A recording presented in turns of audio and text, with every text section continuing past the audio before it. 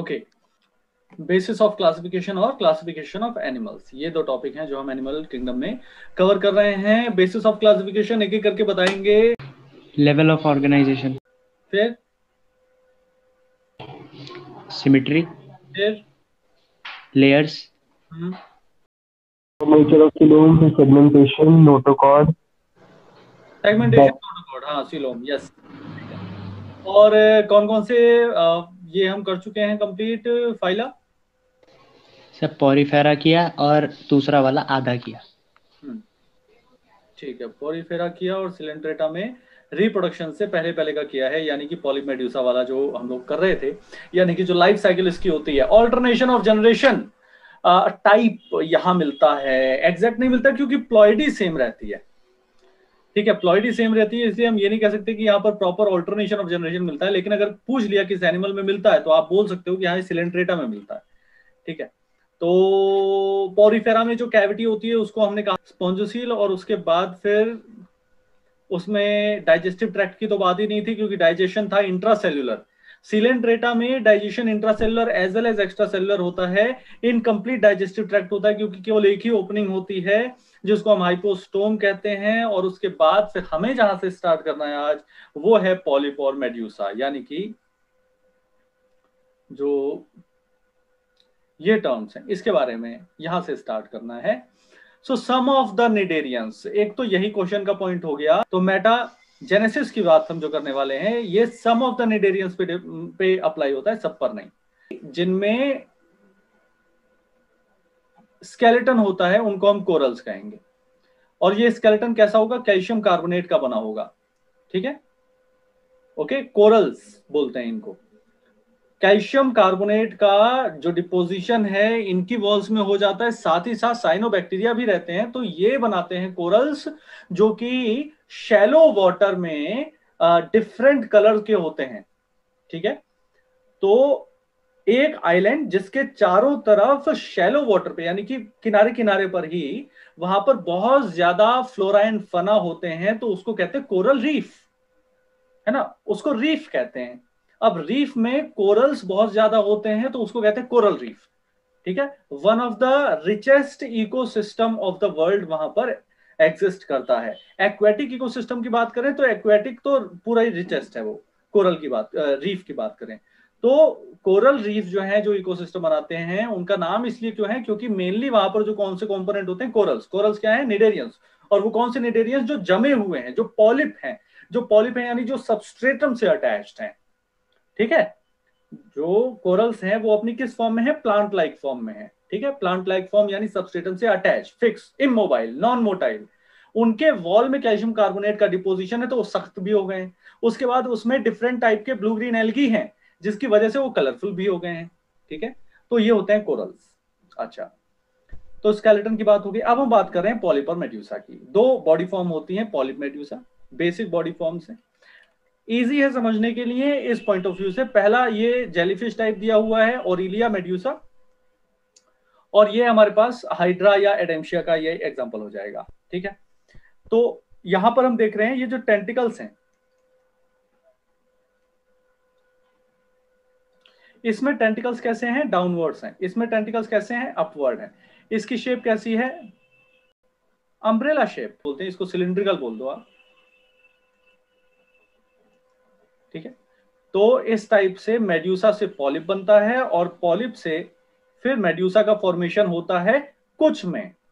ठीक है? यानी कि हमारे पास ऐसे निडेरियंस हैं जिनमें ये जो दोनों ही फॉर्म्स हैं, ये एग्जिस्ट करती हैं और एक ऑर्गेनिज्म अपनी पॉलिप फॉर्म से मेड्यूसा फॉर्म में आता है और मेड्यूसा फॉर्म से पॉलिप फॉर्म में जाता है। तो वहाँ पर ये ऑल्टरनेशन ऑफ़ जनरेशन एक एनिमल होने के बावजूद एग्जिस्ट करता है, जिसको हम क्या बोलते हैं? मेटाजेनेसा तो हम ये बात कर रहे हैं कि अम्ब्रेला शेप और सिलिंड्रिकल शेप वाली जो दो बॉडी फॉर्म एक ही ऑर्गेनिज्म के लाइफ साइकिल में आती हैं उसको हम कहते हैं ऑल्टरनेशन ऑफ़ जनरेशन जिसमें मेड्यूसा फॉर्म पॉलिप बनाती है, उसके बाद फिर पॉलिप फॉर्म फिर से मेड्यूसा बना लेती है।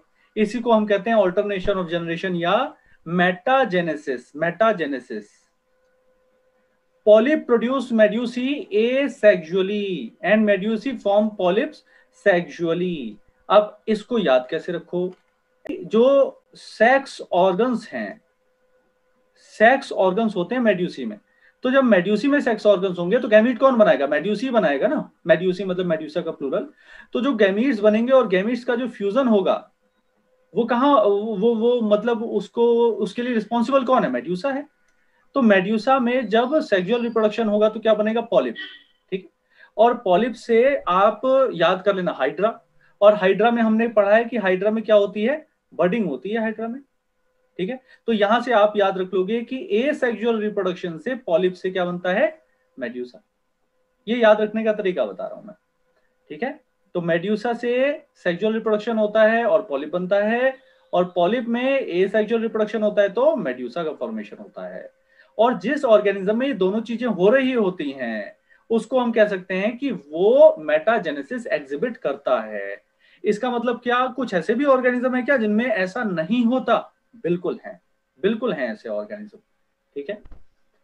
यानी कि जिनमें केवल पॉलिप है या जिनमें केवल मेड्यूसा है, ठीक है? तो ये हो जाएगा the former is sessile and cylindrical form like Hydra and Adamsia polyp जो है सेसाइल होता है या नॉन मोटाइल होता है, ठीक है? Where is the latter is umbrella shape and free swimming तो क्वेश्चन पूछ लेंगे, कैसे? Free swimming form of coelenterate is known as what medusa example क्या है? ओरिलिया या जेलीफिश एग्ज़ाम्पल में आ जाता है फिर टोटल एग्ज़ाम्पल में जो है फाइजेलिया या Portuguese man of war Adamsia या सी एनिमोन पिनेट्यूला या सी पैन गोरगोनिया या सी फ़ैन मियंड्रिना या ब्रेन कोरल ठीक है? तो कितने एग्ज़ाम्पल हमें यहाँ याद करने हैं? फाइजेलिया या Portuguese man of war Adamsia या सी एनिमोन पिनेटुला या सी पैन गोरगोनिया या सी फ़ैन और मियंड्रिना या ब्रेन कोरल इससे पहले हमने कौन सा याद किया था? साइफा स्काइफा या साइकन है ना? किसमें? पोरीफेरा में? स्पॉन्जिला फ्रेश वाटर स्पॉन्ज और यू स्पॉन्जिया बाथ स्पॉन्ज ये तीन हमने याद किए थे पोरीफेरा में. साइकन या स्काइफा स्पॉन्जिला या fresh water sponge Euspongia या बाथ स्पॉन्ज ठीक है? यहाँ पर कौन कौन से याद कर रहे हैं हम लोग? फाइजेलिया या पोर्टुगीज मैन ऑफ़ और एडेमशिया या sea anemone Pennatula sea pen Gorgonia sea fan और मीनरिडास ब्रेन कोरल ठीक है? ठीक है, याद रहेगा?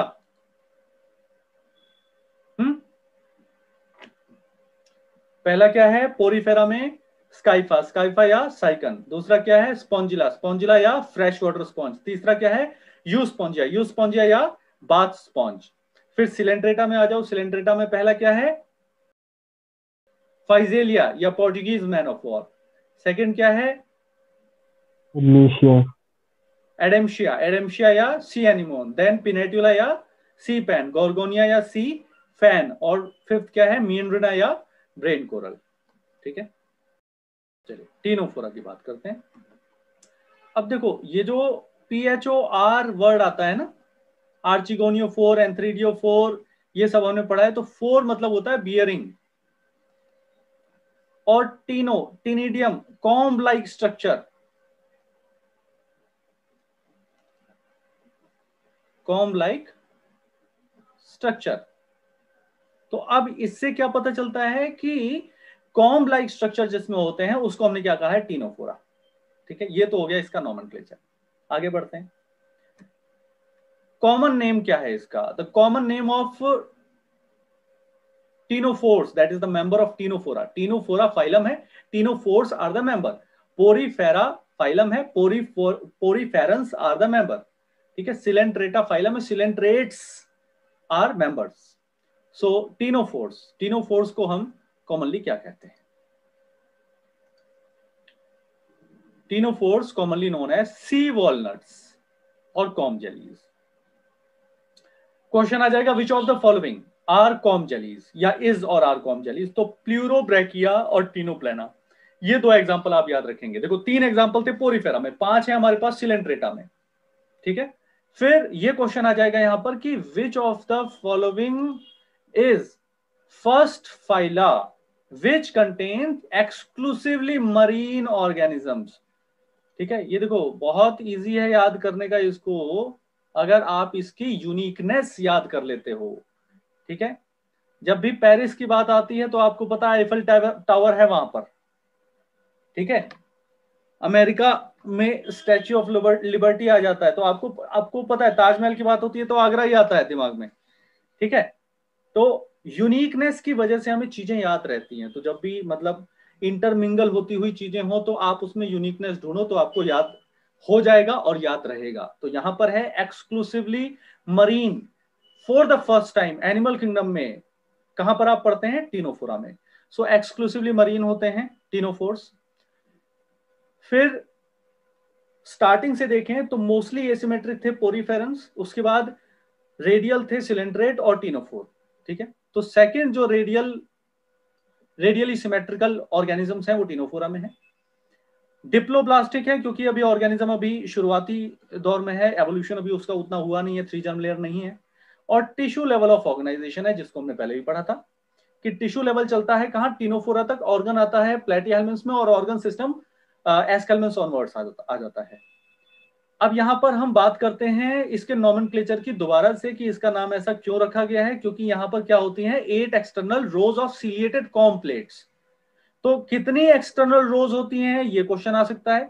फिर कितनी रोज होती है मतलब कितनी होती हैं और वो इंटरनल होती हैं या एक्सटर्नल होती हैं, ये मैच द फॉलोइंग पे आ जाएगा। छोटा सा टॉपिक है, लेकिन इस पे क्वेश्चन फ्रेमिंग देखो अलग अलग टाइप से हो सकती है। कितनी है? एट है। फिर कितनी है और कहाँ है? ये मैचिंग आ जाएगा। Which of the following about the structure of ctenophore is or are correct? तो उसमें कहेंगे eight external eight internal four external four internal ऐसे करके पूछ लेंगे। अच्छा एक और चीज़ पूछ लेंगे आपसे। Eight external non ciliated eight internal ciliated eight external ciliated four internal non ciliated ठीक है? क्वेश्चन की फ्रेमिंग देखो, इस टाइप से हो जाएगी। तो हम क्या कहेंगे? एट होती हैं एक्सटर्नल होती हैं और सिलिएटेड होती हैं। ये जो आपको दिख रही हैं।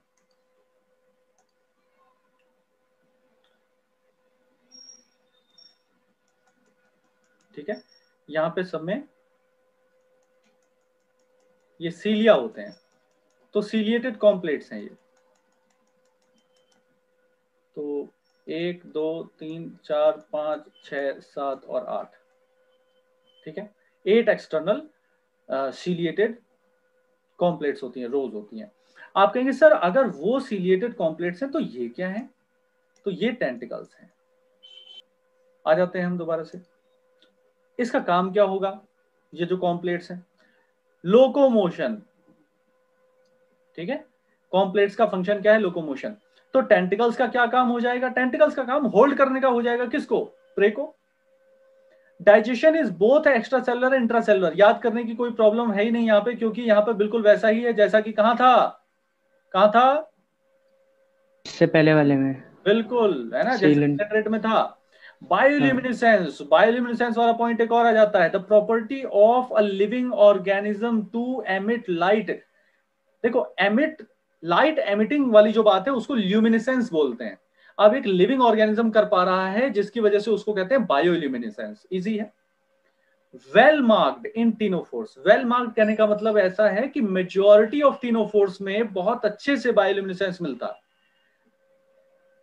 फिर रिप्रोडक्शन के पॉइंट ऑफ़ व्यू से देख लें तो sexes are not separate not separate वाली कंडीशन को क्या बोलोगे? हाँ जी। बाइसेक्सुअल बिल्कुल। बाइसेक्सुअल या मोनोशियस बोल देंगे। अच्छा। Reproduction take place only only by sexual mean ये भी for the first time in animal kingdom आप देख रहे हैं क्योंकि पोरीफेरन में भी सेक्सुअल एसेक्सुअल दोनों होता है। सिलेंड्रेट्स में भी सेक्सुअल एसेक्सुअल दोनों होता है। It is also can be said that it is second uh, है ना second or third fourth unique feature. If we follow the animal kingdom phyla wise evolution wise यानी कि पोरीफेरा में ऐसा नहीं था सिलेंट्रेटा में ऐसा नहीं था लेकिन टीनोफोरा में ऐसा है। कैसा है? कि ओनली सेक्सुअल रिप्रोडक्शन हैबिटेट में भी कैसा है? केवल मरीन है। और क्या यूनिकनेस आ गई? बायोल्यूमिनेसेंस ठीक है? ये जो चीज़ें हैं ये इसमें यूनिकनेस दे रही हैं। प्लेट भी। कॉम्प्लेट्स कॉम्प्लेट्स भी। Well marked sexes are not separate reproduction take place only by sexual means fertilization is external अब ये एक और बात हो गई। अब यहाँ पर ना, हमारे पास सिलेंड्रेट्स में जो है, दोनों टाइप का होता है, इसलिए हम वहाँ पर हमने बात ही नहीं की। ठीक है? सिलेंड्रेट्स में दोनों टाइप का होता है। हाइड्रा में इंटरनल हो जाएगा और, जो ओरिलिया वगैरह है, या जो वो है ना, कौन? ओबिलिया ओबिलिया या सीफर उसमें एक्सटर्नल हो जाता है। इसलिए वहाँ पर हमने एक्सटर्नल या इंटरनल दोनों में से कोई एक नहीं बोला। ठीक है? तो उसकी बात नहीं कर रहे हम लोग। जो एनसीआरटी में दिया हुआ है, उसके पॉइंट ऑफ़ व्यू से देखें तो पोरीफेरा में कैसा था? इंटरनल टीनोफोरा में कैसा है? एक्सटर्नल पोरीफेरा में लार्वा बनता था? यस सिलेंट्रेटा में बनता है क्या? बिल्कुल बनता है. टीनोफोरा में भी बनता है? बिल्कुल. तो कैसा हो गया? ये हो गया इनडायरेक्ट डेवलपमेंट ठीक है? External fertilization indirect development sexual reproduction और बाइसेक्सुअल नेचर टीनोफोरा समझ में आया? प्लूरोब्रैकिया टीनोप्लेना यूनिकनेस बताओ जरा। सर पहले तो ये एक्सक्लूसिवली मेरीन होते हैं। हम्म। और ये बायोल्यूमिनेसेंस शो करते हैं। और इनमें फोम प्लेट्स होती हैं जो सिलिएटेड होती है। और वो एट होती है नंबर में और एक्सटर्नल होती है। हम्म। एंड इनमें जो रिप्रोडक्शन होता है वो सिर्फ़ सेक्सुअल होता है। और फर्टिलाइजेशन इंटरनल होता है। फर्टिलाइजेशन एक्सटर्नल होता है विद इंटरनल डेवलपमेंट इंटरनल नहीं बेटा इनडायरेक्ट इनडायरेक्ट मतलब पहले ला, लार्वा बनता है बीच में। बताओ लार्वा क्या होता है? जो उसका अडल्ट और इसके बीच में लिंक होता है। हम्म मॉर्फोलॉजिकली डिस्टिंक्ट होना ही होना है उसको। हाँ। गुड चलिए तो आगे बढ़ते हैं हम फाइलम प्लेटी हेलमेंस की तरफ़। किस किस टाइप से यहाँ पर क्वेश्चन की फ्रेमिंग हो सकती है, वो भी हम देखते हुए चल रहे हैं। अब यहाँ पर आ गए हम, फिर से नॉमन पे। हेलमेंथ हेलमेंथ मतलब होता है वॉर्म और प्लेटी प्लेटी मतलब होता है फ्लैट ठीक है? इसीलिए हम खाने की प्लेट्स को प्लेट्स बोलते हैं, क्योंकि वो फ्लैट होती हैं। तो फ्लैट के लिए वर्ड आता है प्लेटी तो प्लेटी हेलमेंट्स तो प्लेटी हेलमेंट्स में सबसे यूनिक जो कैरेक्टरिस्टिक है, पहली ही लाइन में लिखी हुई है कि दे आर डोर्सो वेंट्रली पहली बात। इसीलिए उनको और क्या, उनका कॉमन नेम क्या है? कॉमन नेम है फ्लैट वॉर्म ठीक है? These are mostly endoparasites found in animals including human beings इसीलिए इसका human pathology point of view से इंपॉर्टेंस है। लाइफ साइकिल वगैरह इसकी इसीलिए इंपॉर्टेंट है क्योंकि ह्यूमन बींग से रिलेटेड इसकी पैथोजेनेसिस है। तो मोस्टली एंडोपैरासाइट होते हैं। एंडोपैरासाइट कौन होते हैं? सर एंडोपैरासाइट्स वो होते हैं जो जैसे जो वाले होते हैं मतलब जो इंटेस्टाइन में रह के वो करते विद इन विद इन रहें। होस्ट हाँ, के विद इन रहें चाहे इंटेस्टाइन में रहें चाहे लिम्फ डक्ट्स में रहें चाहे ब्रेन में रहें चाहे ब्लड में पाए जाएँ चाहे लिवर में शाइजोगोनी करें ठीक है? तो इनको हम क्या कहेंगे? Endoparasites flatworms are bilaterally symmetrical अब ये देखो यूनिक पॉइंट आ गया यहाँ पर ठीक है? पहला यूनिक पॉइंट आ गया। पहला यूनिक पॉइंट क्या आया? सिमेट्री सिमेट्री कैसी? बाइलेटरल दूसरा यूनिक पॉइंट ट्रिप्लोप्लास्टिक तीसरा यूनिक पॉइंट एसिलोमेट इससे पहले हमने कहीं कहा कि एसिलोमेट सीडोसिलोमेट कुछ ऐसा है ये? नहीं कहा हमने। क्यों नहीं कहा? बिकॉज़ भाई, सिलोम के कैटेगरी में या उसमें सिलोम है या नहीं है, इसके बेसिस पे हम क्लासिफाई करें, उसके लिए ये ज़रूरी है कि ऑर्गेनिज्म ट्रिप्लोप्लास्टिक हो। मीजोडर्म उसके पास है। अब हम देखते हैं कि सिलोम बनी है या नहीं बनी है। हमने फॉर्म भरा है नीट का। अब हम देखें, तैयारी हो रही है या नहीं हो रही है। तैयारी हो रही है तो सिलेक्शन हो रहा है या नहीं हो रहा है। सेवन ट्वेंटी में से कितने मार्क्स आ रहे हैं? ये हम देखेंगे तब जब नीट के, नीट का फॉर्म भरा हुआ हो। ठीक है? तो उस बारे में डिस्कस करने की बात ही तब बनती है जब नीट के लिए भाई कुछ इंटेंशन हो। तो यहाँ पर मीजोडर्म है ही नहीं तो हम बात क्या करें कि ये ए सिलोमेट है सीरोसिलोमेट है या यू सिलोमेट है? शाइजो है या एंट्रो है? उसकी बात ही नहीं कर सकते। कई बार क्वेश्चन आ जाता है, लेकिन इस टाइप से आपसे पूछ सकते हैं। कि भाई टीनोफोरा कौन सी कैटेगरी में आएगा? तो आप बोल दोगे, भाई टीनोफोरा ए सिलोमेट है। थोड़ा सा लूज बाउंड्री है यहाँ पर, ध्यान रखेंगे। टीनोफोरा में पूछ लेंगे तो टीनोफोरा में आप बोल दोगे कि ये एसिलोमेट होता है भाई। अदरवाइज़ कायदे से अगर हम बात करें तो ए सिलोमेट सीडोसिलोमेट और यू सिलोमेट का जो जो डिवीज़न है, जो क्लासिफिकेशन है, वो यहाँ से शुरू होता है। इसलिए हमने इससे पहले बोला ही नहीं है सिलोम की बात ही नहीं बोली हमने, क्योंकि मीजोडर्म नहीं थी। यहाँ मीजोडर्म तो होती है, लेकिन वो क्या नहीं होती स्प्लिट नहीं होती और कैविटी बनाती नहीं है। दैट्स वाई इसको हम कहते हैं एसिलोमेट ट्रिप्लोब्लास्टिक है, फिर भी एसिलोमेट है। पहला unique point dorsoventrally flatten दूसरा यूनिक पॉइंट मोस्टली एंडोपैरासाइट अगर हम अब तक एनिमल किंगडम में देखें तो सबसे पहली बार एंडोपैरासाइट वर्ड कहाँ यूज़ होता है? प्लेटी में। ठीक है? तो सारे यूनिक पॉइंट है बेटा ये, सारे unique point dorsoventrally flatten ये है। ठीक है? मोस्टली एंडोपैरासाइटिक ये है। फिर बाइलेटरली सिमेट्रिक सबसे पहले एनिमल किंगडम में ये आया है। फिर तीन जर्म लेयर सबसे पहले एनिमल किंगडम में इसके पास है। फिर एसिलोमेट कंडीशन इसके पास सबसे पहले है। ऑर्गन लेवल ऑफ़ ऑर्गेनाइजेशन इसके पास सबसे पहले है। ठीक है? ऐसा है। अच्छा अगर इसके पास ये सारी चीज़ें हैं तो एक होता है पैरासाइटिक अडेप्टेशन ठीक है? ये पैरासाइटिक अडेप्टेशन भी इसके पास हैं। जब पैरासाइट इससे पहले था ही नहीं तो इसकी बात ही क्या करते? इंटेस्टाइन से अटैच्ड रहने के लिए इसके पास hooks some of them absorb nutrient from the host directly through their body surface. Absorption के थ्रू नरिशमेंट मिलेगा। एक और यूनिक पॉइंट यहाँ पर आ जाता है क्या? फ्लेम सेल का। ठीक है? फ्लेम सेल मतलब क्या? For the first time animal kingdom में जो एक्सक्रीटरी ऑर्गन है स्पेशलाइज्ड। वो भी यही आता है। क्या नाम है? फ्लेम सेल या प्रोटोनेफ्रीडिया। फ्लेम सेल या प्रोटोनेफ्रीडिया। किसमें काम करता है? ऑस्मो रेगुलेशन और एक्सक्रीशन में। वही है। कहने का वही तात्पर्य है। लेकिन ये लाइन जो है, कई बार पूछ लेते हैं। है इजी ठीक है?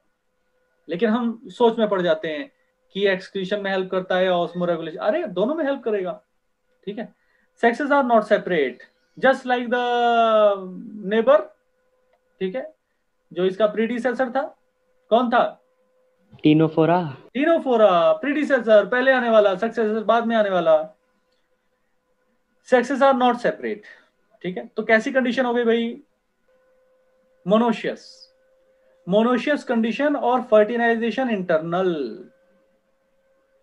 पूरे फाइला में कैसा है फर्टिलाइजेशन इंटरनल है। Development for the first time animal kingdom में फिर से एक यूनिक फीचर आ गया। मैनी लार्वल स्टेजेस इससे पहले मल्टीपल लार्वल स्टेजेस नहीं है बेटा।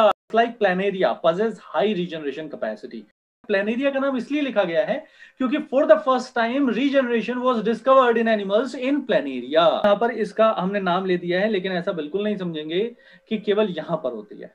ठीक है? सब members like planaria possess high regeneration capacity example दो हैं, बहुत इजी है आपके लिए याद करना। हालाँकि यहाँ पर और भी बहुत से एग्जांपल्स हैं, लेकिन दो एनसीईआरटी e ने फ़िल्टर आउट किए हुए हैं टीनिया या टेपवर्म और फेशियोला या लिवर फ्लू ठीक है? Fasciola hepatica Taenia solium Taenia saginata ये हम पढ़ते हैं, थोड़ा सा डिटेल में जब पढ़ते हैं तो। अभी हम केवल ये पढ़ रहे हैं कि Taenia tapeworm Fasciola liver fluke तो क्या क्या चीज़ें आ गई यहाँ पे? For the first time dorsoventrally flattened कोई ऑर्गेनिज्म है। For the first time mostly endoparasitic members हैं इसके। For the first time bilateral है ट्रिप्लोप्लास्टिक है एसिलोमिक है। For the first time body surface से एब्जॉर्ब कर रहा है सब कुछ। For the first time excretory structure यहाँ पर प्रेजेंट है flame cell for the first time multiple larval stages हैं। ठीक है? अब अब मुझे बताइए क्या नहीं समझ में आया? अगर कुछ पूछना है। यस सर फर्टिलाइजेशन भी इंटरनल है। हाँ बिल्कुल है। लेकिन फॉर द फ़र्स्ट टाइम नहीं है ना। फॉर द फ़र्स्ट टाइम नहीं है ना पोरीफेरा में भी इंटरनल था। इसलिए मैंने नहीं बोला। टीनिया जो है, टीनिया के ये प्रोग्लोटिड होते हैं। ये ये यहाँ से हटते चले जाते हैं। और ये जो है ना, ये ये ये यहाँ से नए बनाता चला जाता है। तो अगर ये इतना आधा कट भी हो गया तो भी यहाँ से नए नए बन जाएँगे। तो अब हम बात करते हैं किसकी? एस्क हेलमेंस की। फाइलम एस्क हेलमेंस अब देखो। सर्कुलर इन क्रॉस सेक्शन ये बड़ी इंपॉर्टेंट लाइन है। जब आप इसका क्रॉस सेक्शन लोगे, ठीक है, तब ये कैसे दिखेंगे? सर्कुलर दिखते हैं।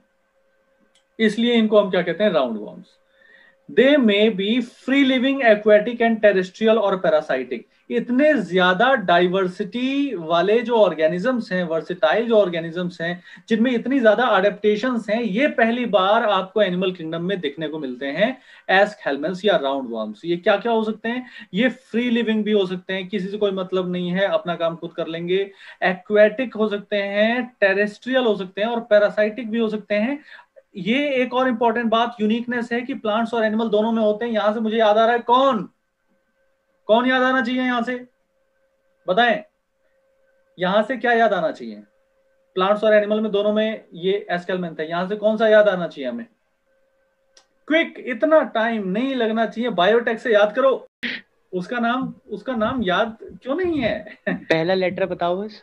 एम एम एम ये तो कुछ ये, ये तो भी क्यों बता दिया। ये तो सोचा ही था इससे तो जो आ रहा था वो भी गलत हो गया। Meloidogyne incognita. यस सर बहुत क्लोज थे सर ठीक है अच्छी बात है। मिलॉइडिजिन इनकॉग्निटा जो कि रूट नॉट डिज़ीज़ कॉज करता है टोबैको में निमेटोड यानी कि एस्केलमेंथ ठीक है एस्केलमेंथ के ही तो नाम है। एस्केलमेंथ का ही नाम है। इसी को हम क्या कह देते हैं? निमेटोडा या इसी को हम क्या कह देते हैं? निमेट हेलमेंथ्स निमेट हेलमेंथ्स भी बोल देते हैं। निमेटोडा भी बोल देते हैं। एस्केलमेंथ इसका नाम है। ठीक है? राउंड वर्म इसका कॉमन नेम है। सर्कुलर होते हैं क्रॉस सेक्शन में इसलिए। तो ये पैरासाइटिक होते हैं प्लांट्स में एज वेल एज एनिमल्स में। एनिमल्स में तो हमें पता है एस्कैरिस लम्ब्रिकॉइड्स है। प्लांट्स में बायोटेक से कनेक्शन है इसका मिलोडिजिन इनकॉग्निटा अच्छा मिलोडिजिन इनकॉग्निटा का किससे कनेक्शन था? क्या चीज़ पढ़ रहे थे तो हम बायोटेक में हम इसका नाम लेते हैं? बताओ। तो मैं ये जानना चाह रहा हूँ कि मिलोडिजिन इनकॉग्निटा से रिलेटेड क्या था वहाँ पर? किस हेडिंग के अंडर हम पढ़ रहे थे वो? क्या टेक्निक आरएनए करके था कुछ। RNA i, RNA i RNA i आई समझ में? आई RNA i RNA interference technology से हमने एक निमेटोड रेजिस्टेंट प्लांट बनाया है वहाँ पर जो टोबैको है। ठीक है? अच्छा एक और रिलेटेड क्वेश्चन मैं पूछ रहा हूँ कि किस निमेटोड में ये डिस्कवर हुई थी? ये जो टेक्निक है ये जो ये जो सेल्फ डिफेंस सेल्यूलर लेवल का मैकेनिज्म है। बताइए। ए से था ए से था। ए से था उसका नाम ए से हाँ। था। ए से एस्कैरिस है यहाँ पर है वो। नहीं नहीं वहाँ पे भी ए से था। हम्म, ए से बोलने में प्रोनाउंसिएशन में ए से था लेकिन वो है ए से नहीं और वो भी उसकी स्पीशीज है। जब हम बोलते हैं तो ए से आती है।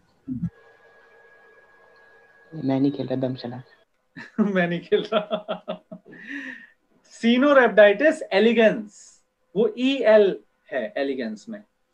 सीनोरेप्टाइटिस एलिगेंस में सबसे पहले आरएनए इंटरफेरेंस टेक्नोलॉजी डिस्कवर हुई थी। एक और एसोसिएटेड क्वेश्चन ले लो। किसने की थी डिस्कवर मैं खेल ही नहीं रहा। मैं खेल ही नहीं रहा। और भाई और लोग बताओ और लोग तो खेल रहे हैं।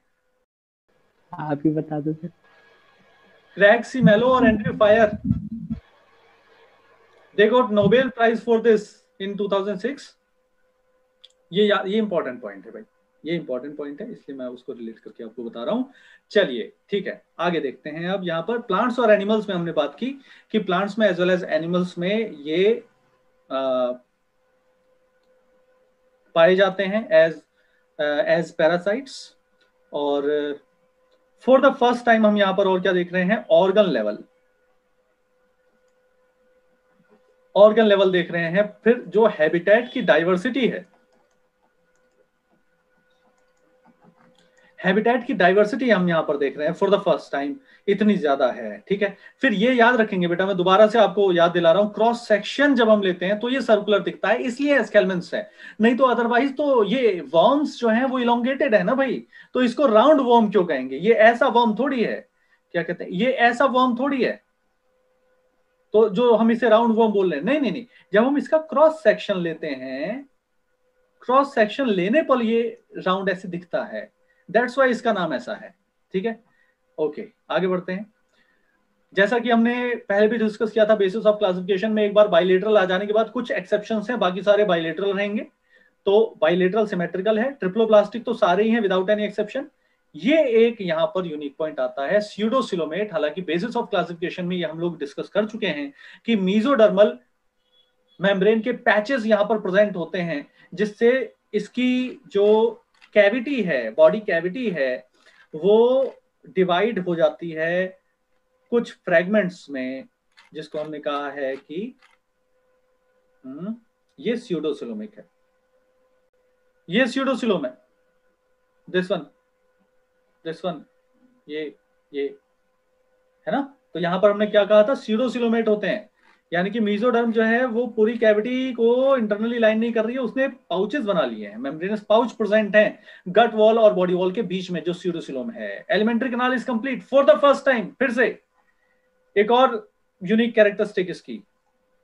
पहला तो फॉर द फ़र्स्ट टाइम यहाँ पर ऑर्गन सिस्टम है for the first time habitat की इतनी ज़्यादा डाइवर्सिटी दिखती है। और उसके बाद यहाँ पर complete digestive tract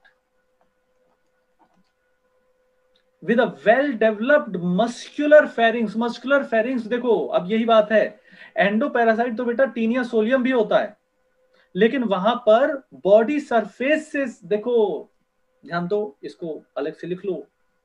ठीक है? सक्शन के थ्रू न्यूट्रिशन अटेन किया जाएगा बेटा।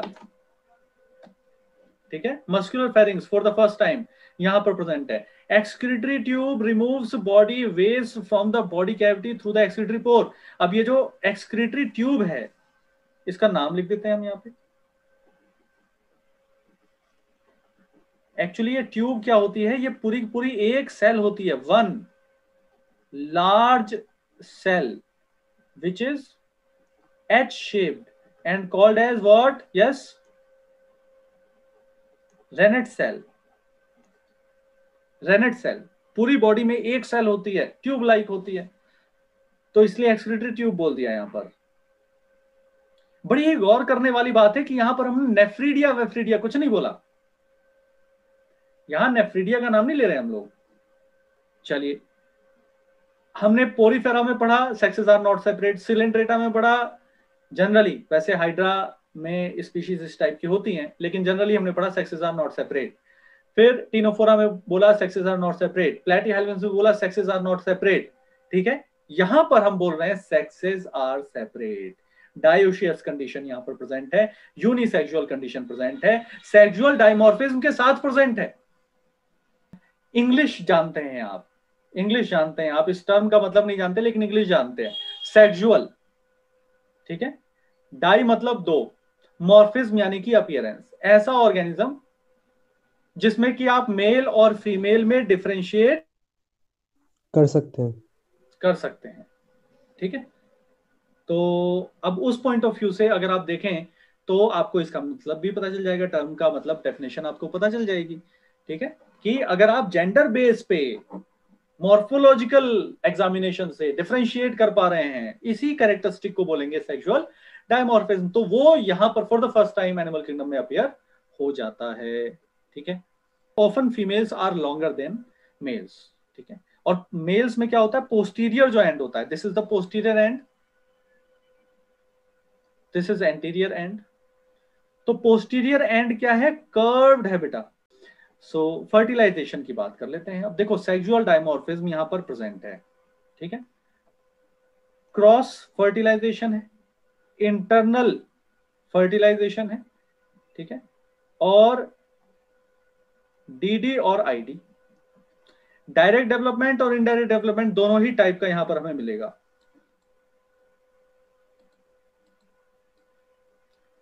डायरेक्ट और इनडायरेक्ट दोनों ही टाइप का डेवलपमेंट हमें यहाँ पर मिलेगा। डायरेक्ट डेवलपमेंट कहने का मतलब क्या है? No larval stages viviparity भी यहाँ पर होगी।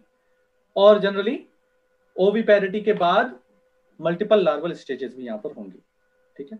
अब वीवी पैरिटी ओवी पैरिटी का डायरेक्ट डेवलपमेंट और इनडायरेक्ट डेवलपमेंट से कुछ खासा लेना देना है नहीं। ठीक है? क्योंकि वीवी पैरिटी होती है तो भी लार्वा आ सकते हैं और ओवी पैरिटी होती है तो भी डायरेक्ट इंडिविजुअल आ सकता है। जैसे कि एव्स हैं एव्स में लार्वा नहीं बनता लेकिन ओवी पैरिटी होती है। बात समझ रहे हैं क्या? वीवी पैरिटी और ओवी पैरिटी का डायरेक्ट डेवलपमेंट और इनडायरेक्ट डेवलपमेंट से कोई डायरेक्ट लिंक नहीं है कि अगर वीवी पैरिटी होगी तो हमेशा जो न्यू बॉर्न होगा, वो मतलब एडल्ट से मॉर्फोलॉजिकली सिमिलर होगा। वहाँ लार्वा नहीं हो सकता। ऐसा नहीं है। हो सकता है larva are being given birth और जो ओवी पैरिटी है, जैसे एव्स में होता है, एगलिंग होते हैं, एगलिंग मैमल होते हैं तो वहाँ पर लार्वा नहीं। एग से जो निकलता है, वो जो न्यू बॉर्न है, वो बिल्कुल मॉर्फोलॉजिकली सिमिलर होता है। आइडेंटिकल होता है। डिस्टिंक्ट नहीं होता। ठीक है ना? तो कभी भी ऐसा आपको सामने आए आपके कि वीवी पेरिस है तो क्या यहाँ पर लार्वा होगा या नहीं ही होगा? ऐसा कुछ कह सकते हैं क्या आप वीवी पैरिटी और ओवी पैरिटी को देखते हुए? बिल्कुल नहीं कह सकते। क्या ये बात क्लियर हो रही है? इसके बाद यहाँ पर हमें याद क्या करना है देखें। मतलब एग्जाम्पल्स में क्या याद करना है? एस्कैरिस जो प्रॉपर राउंड वर्म जिसको हम कहते हैं that is Ascaris Wuchereria filarial worm ये दोनों ही चीज़ें ह्यूमन हेल्थ एंड डिज़ीज़ वाले चैप्टर से कनेक्टेड हैं। एस्कैरियसिस हो जाता है। एस्कैरिस लम्बिकॉइड्स की वजह से वुशरेरिया बैंक्रॉफ्टी हम वहाँ पर बोलते हैं फाइलेरियल वॉर्म को। एनसाइक्लोस्टोमा ये यहाँ पर और याद करना है। हुक वॉर्म होता है ये। तो तीन चीज़ें आपको याद यहाँ पर करनी है।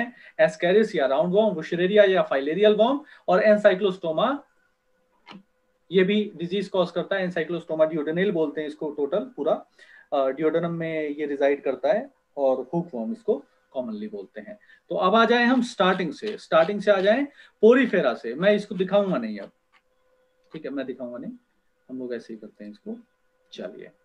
सबसे पहला फाइलम पोरीफेरा फिर सिलेंट्रेरा फिर टीनोफोरा फिर प्लेटियल्मेंस फिर एस्केलमेंस ठीक? चलिए पोरीफेरा में कौन? सबसे पहले साइकन या स्काइफा दूसरा क्या?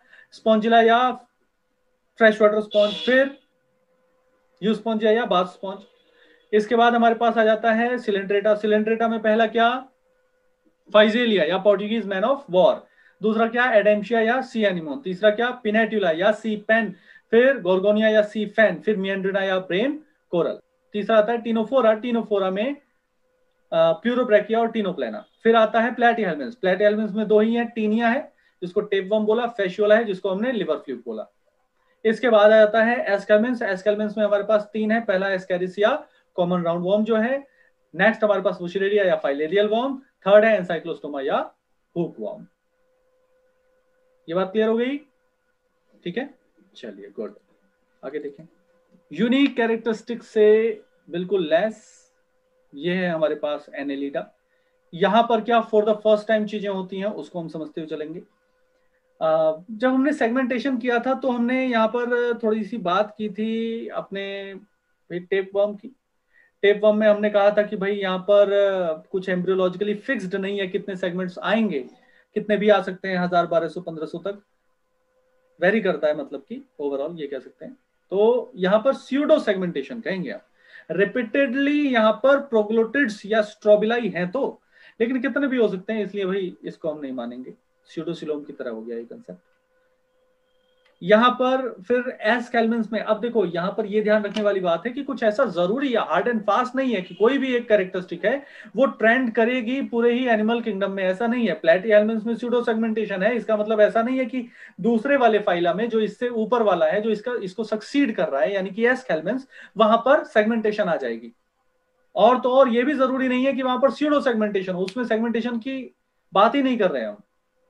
हम किसमें बात करेंगे? एक फाइला छोड़ के। ठीक है? यही थोड़ा सा आपको ध्यान देने की ज़रूरत है और यही फ़ायदा है आपका, क्योंकि आपको पता चल जाता है क्वेश्चन यहाँ से फ्रेम हो सकता है। क्योंकि यहाँ पर जनरल चीज़ नहीं है। जनरल से थोड़ी सी हटके है।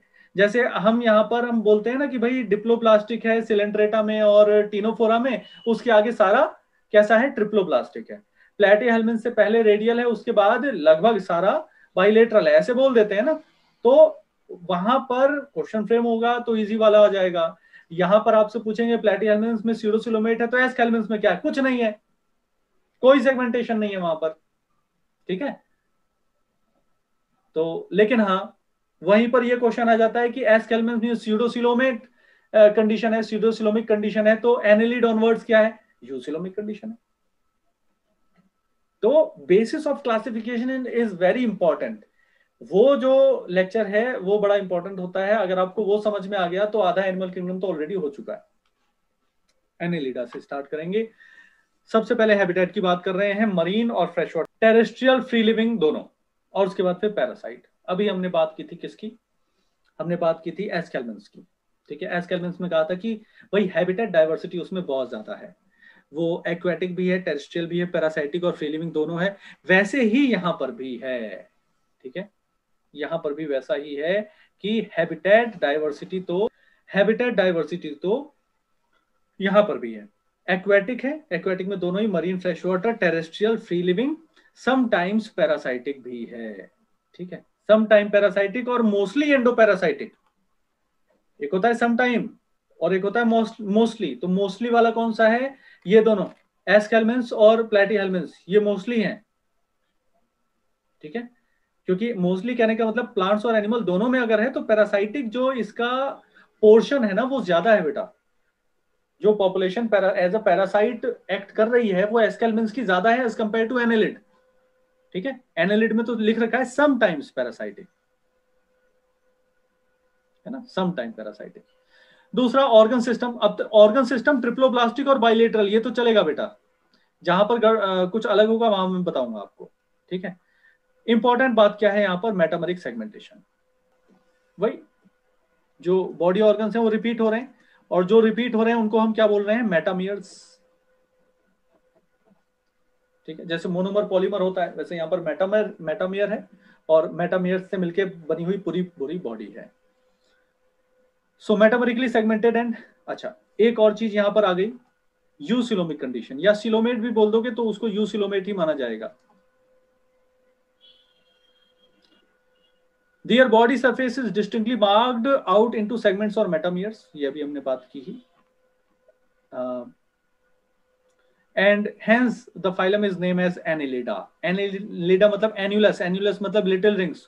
तो बहुत सारी rings आप एक उसमें फॉर्म में लगा दो ठीक है ये देखो ये इंडिविजुअल रिंग्स हैं ठीक है तो पूरा ऑर्गेनिज्म बन जाएगा तो इसलिए एनुलस से इसका नाम आया है नॉमन आया है एनेलिडा इसके बाद फॉर द फ़र्स्ट टाइम एक और चीज़ यहाँ पर हम लोग यूनिकनेस वाली कैरेक्टरिस्टिक पढ़ सकते हैं, जो कि हमें इसको याद रखने में हेल्प करेगी। वो है लॉन्जिट्यूडनल और सर्कुलर दोनों टाइप की मसल्स बॉडी वॉल में आ जाना, जिसकी हेल्प से क्या होता है? लोकोमोशन ये इंपॉर्टेंट पॉइंट है। Presence of muscles presence of muscles and not only circular but longitudinal also longitudinal muscles plus circular muscles जो किसमें लोकोमोशन में हेल्प कर रही है बॉडी वॉल से अटैच है। Aquatic annelid like Nereis important point Nereis में लेटरल अपेंडेजेस होते हैं पैरापोडिया जो कि स्विमिंग में हेल्प करते हैं रेस्पिरेशन में भी हेल्प करते हैं, बेटा। एक और पॉइंट पैरापोडिया और किसमें? गिल गिल मेम्ब्रेन की तरह काम करते हैं और रेस्पिरेशन में हेल्प करते हैं। फिर यूनिक पॉइंट एक और बेटा, देखो यूनिक पॉइंट अगर आप याद रखोगे तो आपको हर फाइला अलग अलग दिखेगा। अदरवाइज़ लगेगा सारे में तो एक जैसे ही है। ठीक है? Closed circulatory system for the first time in animal kingdom दोनों टाइप की muscle for the first time in animal kingdom segmentation for the first time in animal kingdom coelomic condition for the first time in animal kingdom parapodia और कहीं आप पूरे animal kingdom में नहीं देखोगे। First and last Annelida के Nereis में। और प्रॉपर जो टर्म आती है नेफ्रीडिया वो भी हम यहाँ पर यूज़ करते हैं for the first time in animal kingdom sir हाँ जी। आपने पैरापोडिया में क्या बताया? तो स्विमिंग और रेस्पिरेशन रेस्पिरेशन लोकोमोशन नहीं है इसमें? बेटा स्विमिंग है तो swimming is a type of locomotion sorry sorry तुम सोच रहे होगे कि स्विमिंग मतलब स्विमिंग ऐसे भी तो करते हैं ना कि स्विमिंग करते रहते हैं और एक ही जगह रहते हैं। नहीं मैं पहले वाला ही सोच रहा था। अच्छा। तो स्विमिंग जो है स्विमिंग भी लोकोमोशन का ही एक टाइप है तो इसको हम कहेंगे। ऐसा सेम एक रोड पे भी घूमता रहता है उसके बहुत सारे पैर होते हैं वो क्या होता है? सेंटिपिड मिलीपिड होते हैं वो। हाँ अच्छा हाँ। वो अलग है? हाँ वो आर्थ्रोपोड में आते हैं। ठीक है ठीक नेफ्रीडिया में कह रहा था फॉर द फ़र्स्ट टाइम यहाँ पर हम नेफ्रीडिया यूज़ कर रहे हैं। आप देख रहे हो बेटा, मैं आपको दोबारा से दिखाता हूँ, देखो। पोरी फेरा से लेके दोबारा से चलते हैं। यूनिकनेस देखना बस। ठीक है यूनिकनेस देखोगे तो आपको समझ में आएगा कि कैसे एक फाइलम दूसरे फाइलम से अलग देखो, मैं ये कह रहा हूँ कि मोस्टली एसिमेट्रिक कहाँ मिलेगा? पोरीफेरा में। ठीक है? जनरली मरीन लेकिन फ्रेश वाटर भी है। वो कहाँ मिलेगा? पोरीफेरा में। स्पॉन्जोसील कहाँ मिलेगी? पोरीफेरा में। ठीक है? डाइजेशन केवल और केवल इंट्रासेल्युलर कहाँ मिलेगा पूरे एनिमल किंगडम में? पोरीफेरा में। स्पिक्यूल जो वर्ड है, वो कहाँ यूज़ करते हो? पोरीफेरा में। कोइनोसाइट किसकी स्पेशलाइज सेल है? पोरीफेरा की। ठीक है? और भी हैं, लेकिन आगे बढ़ते हैं। सिलेंड्रेटा में हम क्या बात करते हैं? पॉलिप और मेड्यूसा वाला झमेला कहाँ पर है? सिलेंड्रेटा में। नीडोब्लास्ट कहाँ होते हैं? सिलेंड्रेटा में। सीलेंटेरॉन कहाँ पाई जाती है? सिलेंड्रेटा में। गैस्ट्रोवेस्कुलर कैविटी कहाँ पर पाई जाएगी? सिलेंड्रेटा में। ठीक है? मेटाजेनेसिस किसमें होगी? सिलेंड्रेटा में। ठीक है? फिर डिप्लोब्लास्टिक कौन कौन है? वैसे डिप्लोब्लास्टिक में हम मतलब सिलेंड्रेटा टीनोफोरा बोलते हैं, लेकिन टीनोफोरा तक तीनों ही ट्रिप्लो, तीनों ही डिप्लोब्लास्टिक है। इसके बाद फिर इसके बाद फिर टीनोफोरा में देखो तो इसकी यूनिक कैरेक्टरिस्टिक क्या क्या हो गई? इसमें टेंटिकल्स पाए जाएँगे कॉम्प्लेट्स पाई जाएँगी। ये कॉम जेरीज कहलाते हैं बायोल्यूमिनेसेंसेस में होता है। यूनिक uh, कैरेक्टरिस्टिक में ये भी है कि ये एक्सक्लूसिवली मरीन होते हैं एक्सक्लूसिवली सेक्सुअली रिप्रोड्यूस करते हैं और they are having for the first time in animal kingdom bioluminescence property ठीक है? ये सारी इसमें ये है। पोरीफेरेंस या स्पॉन्जेस कौन है? पोरीफेरा वाले, ठीक है? पॉलीमेड्यूसा वाले कौन है? या जेलीफिश, या हाइड्रा, ये कौन है? सिलेंड्रेटा वाले। और कॉम जेली, सी वॉलनट कौन है? टीनोफोरा वाले। फ्लैट वॉर्म प्लेटी हेलमेंस राउंड वॉर्म एस्केलमेंस तो डॉर्सो वेंट्रली फ्लैटन कौन है? प्लेटी हेलमेंस फ्लेम सेल किसमें मिलेगी? Platyhelminthes for the first time triploblastic कौन है? Platyhelminthes for the first time bilateral symmetry किसमें आती है? Platyhelminthes for the first time and last time actually pseudo segmentation किसमें होगा? प्लेटी हेलमेंस टीनिया और फैशियोला uh, किसमें आएँगे? Platyhelminthes hook sucker for the first time किसमें मिलेंगे? प्लेटी हेलमेंस ए सिलोमेट कौन होता है? For the first and last time actually Platyhelminthes ठीक है? Multiple larval stages for the first time किसमें मिलती हैं? प्लेटी हेलमेंस एस्केलमेंस में सेक्सुअल डाइमॉर्फिज्म किसमें सबसे पहले होगा? प्लेटी हेलमेंस ऑब्वियसली डाइशियसनेस किसमें होगी? uh, सबसे पहले और प्री डोमिनेंट प्लांट एनिमल दोनों में parasite for the first time कौन होते हैं? एस्केलमेंस ठीक है? अब एनिलिडा पे आ जाओ।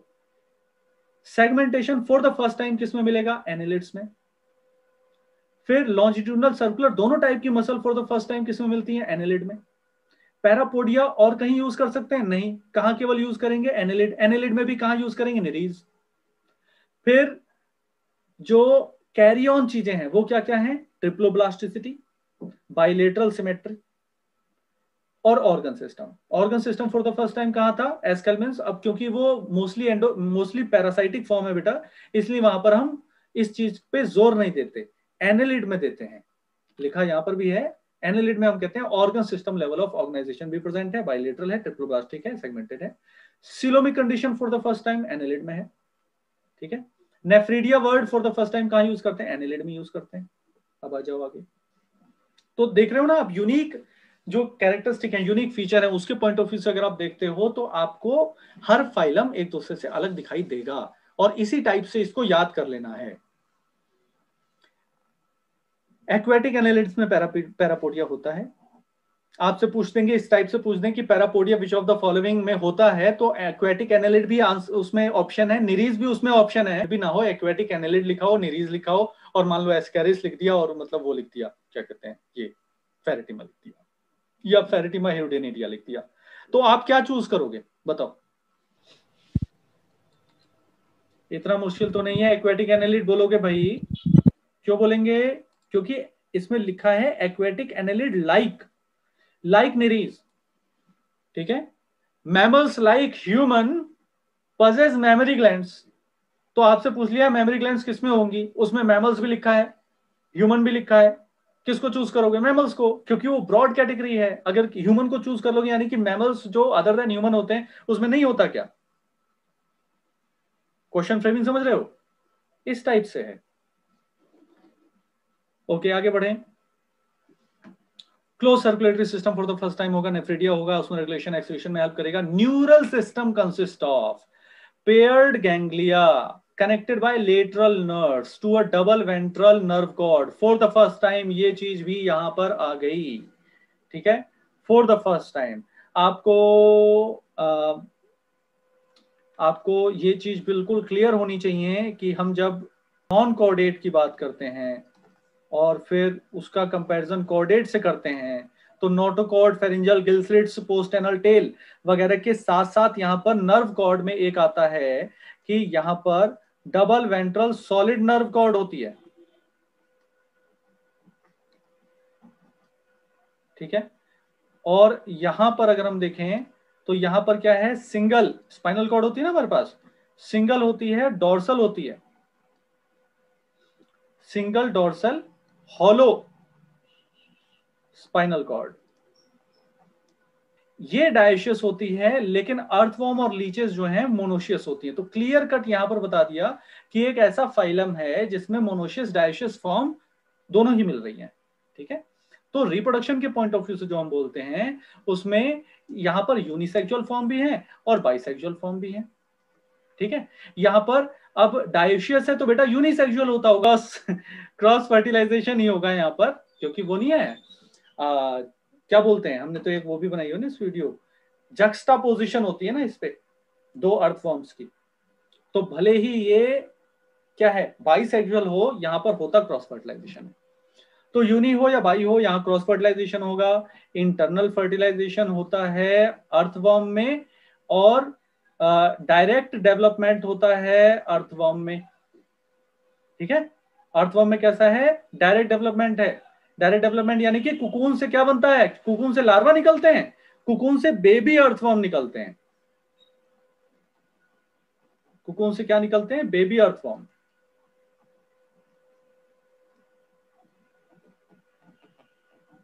Nereis Pheretima Pheretima posthuma earthworm Hirudinaria granulosa Hirudo medicinalis blood sucking leech Hirudo जरा याद करो और याद करके बताओ। हिरडो मेडिसिनलिस बायोटेक से कैसे रिलेटेड है? बताएँ। हिरुडिन हिरुडिन जानते हो? Natural blood anticoagulant hirudinated Brassica napus हमने बनाया है आर्टिफिशियल जीन सिंथेसिस से। ठीक है? Brassica napus. के दानों में सीड्स से, वहाँ से हिरोडिन एक्सट्रैक्ट करके हमने सर्जरी वगैरह में यूज़ करते हैं हम। चलिए, ठीक है, कोई दिक्कत नहीं है। बस मैं बता रहा था कि किस तरीके से ये पॉइंट रिलेटेड है। ठीक है? तो हमने क्या क्या पढ़ लिया? Porifera cylinder Porifera Coelenterata Ctenophora Platyhelminthes Aschelminthes Annelida ठीक है? ओके